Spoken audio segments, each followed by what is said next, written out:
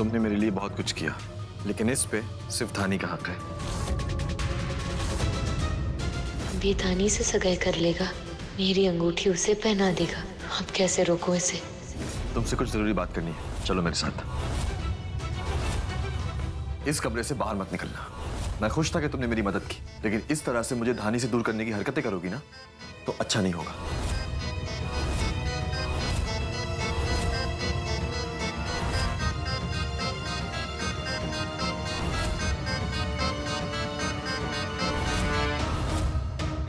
माँ मेरी ड्रेस संभाल नहीं रही है। चोरी तो कुछ भी काम ठीक से ना कर सके क्या? माँ मेरी मदद कर नहीं तो मेरी सक मेरे हम सफ़र क्या तुझे इतनी सी भी खबर?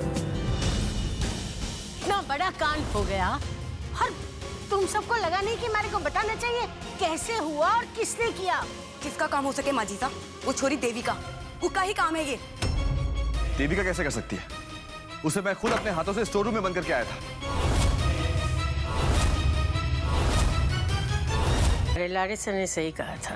बिना वजह नौकरानी को घर के बाहर नहीं भेज सकते वजह ना हुई तो क्या हुआ? वजह पैदा भी तो हो सकती है। तूने वो दिन लाल बैग पैसों वाली मारी को संभाल के रखने के लिए दी थी ना? हाँ। मैंने संभाल के मेरी अलमारी में रखी थी। पर आज जब अलमारी खोली तो बैग ना है। मासा आपको किस पे शक है?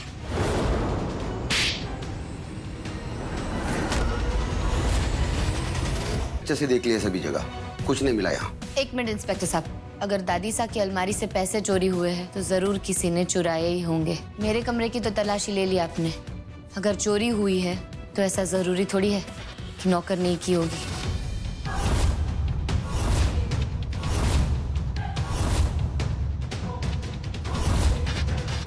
लगी है उसको तो हम उसका ब्याह करवा देते हैं। आप होती कौन है? मेरा ब्याह तय करने वाली। अरे को ब्याह ना करना है तो कुछ नहीं सगाई कर ले। अगर तुम्हें इस घर में रहना है तो सगाई करनी होगी। ये अंगूठी छोरी को पहना दे। आज तुम दोनों की मंगनी है।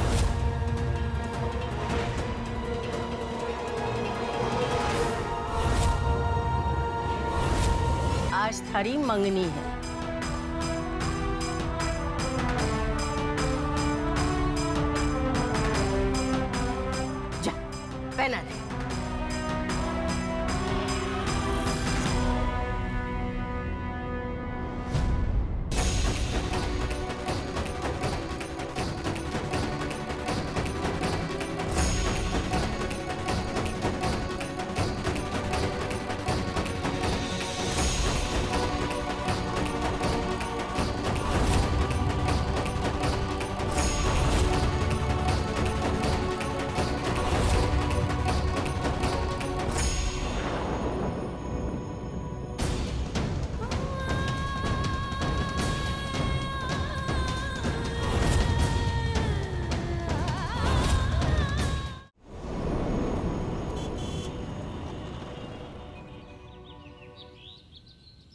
हम बहुत खुश हैं बेटा कि तुम उन औरतों को टक्कर दे रही हो, जो तुम्हें इतना परेशान कर रहे हैं।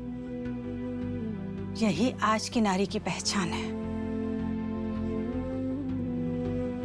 वरुण को चाहे याद ना हो कि तुम उसकी बीवी हो, लेकिन तुम तुम अपने सुहाग को पाने के लिए हर तूफ़ान से लड़ने को तैयार हो। हमें हमेशा से लगता था कि तुम और वरुण एक दूसरे के लिए बने हो। बस बेटा।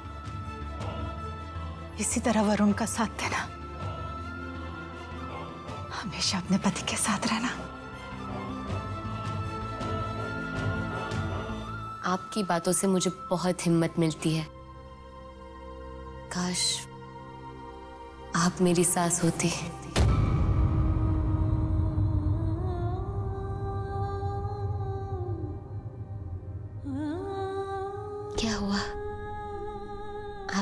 सोचने लगी। अब एक्सक्यूज मी बेटा हम अभी आते हैं।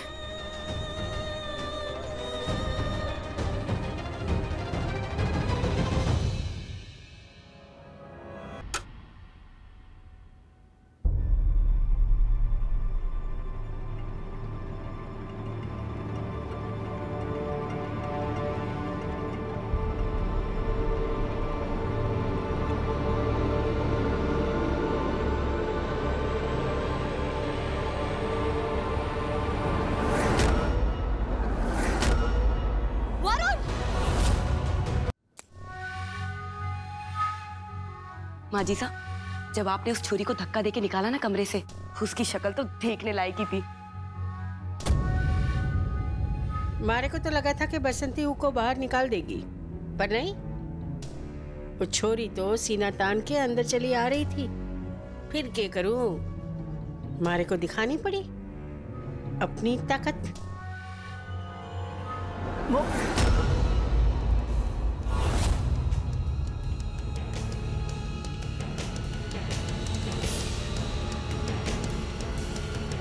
कौन है दादी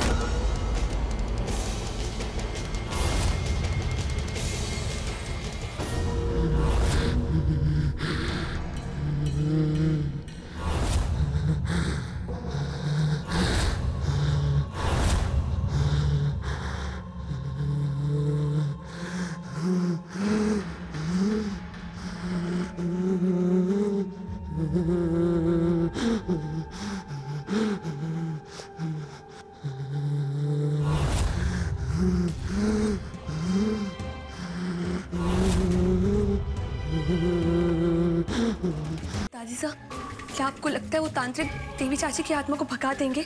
बहुत बड़े तांत्रिक है। चाहे कैसी भी आत्मा क्यों ना हो वो वश में कर सकते हैं।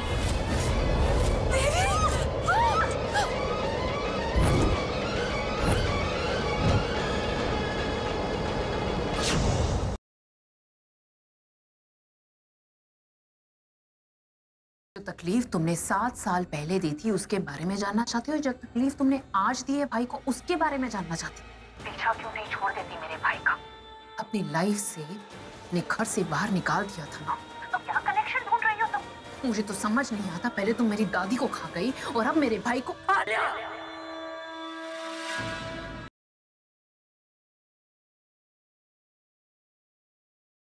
मैंने कहा कि अबॉर्शन होगा तो अबॉर्शन होगा। क्या चाहती हो तुम? तुम खुद अपनी मौत को बुलावा देना चाहती हो?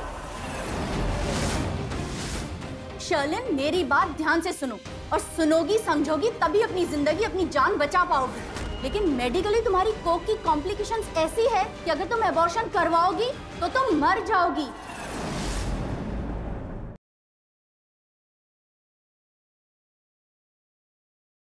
को भी यहाँ पे कोई नहीं है। तो मैं सोच रहा था कि मैं तुमसे पूछ लूँ कि चाहिए क्या? कि क्या क्या चाहिए? वो केस जो रात को बाकी रह गया था। देख लेना उसका फ़ोन बिना बचे उसका फ़ोन खत्म हो जाना चाहिए पूरी तरह। मेरे खिलाफ कोई सबूत नहीं बचना चाहिए।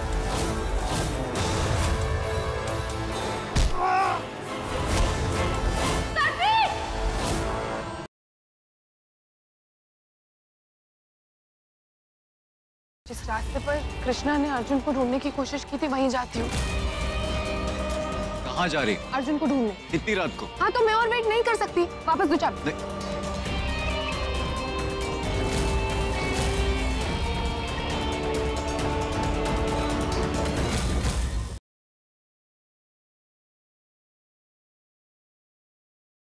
होने वाली नेता को इलेक्शंस के जस्ट पहले जहर देकर मारने की साजिश की गई है इस घर में। और इस जुर्म की सजा इस पूरे खानदान को मिलेगी।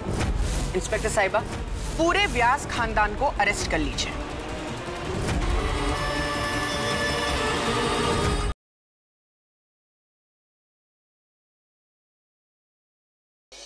आपके आ जाने से में इस हफ़्ते मोहब्बत के सावन में वेदिका करेगी कबूल साहिल के प्यार को। अमीर जाती ये सच है या फिर सपना देख रहे हैं आप? हमारे होते हुए सपना ही होगा। जाग जाओ।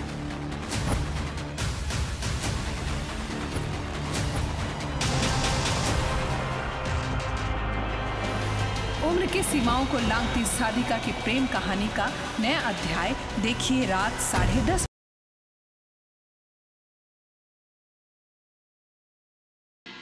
साइन करो। नहीं भगवान पहले तुम्हें मुझे बताना होगा कि वो सारा स्यापा क्या था।